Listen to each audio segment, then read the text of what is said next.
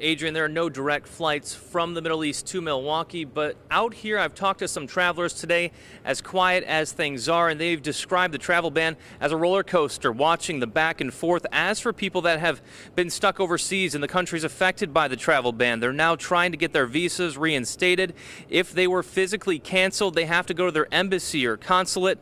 The State Department says most were canceled electronically, so those have been reinstated. Earlier today, we caught up with Governor Scott Walker in Waukesha and asked him about the travel ban being suspended. We're well familiar with the court stepping in on, on issues they disagree with.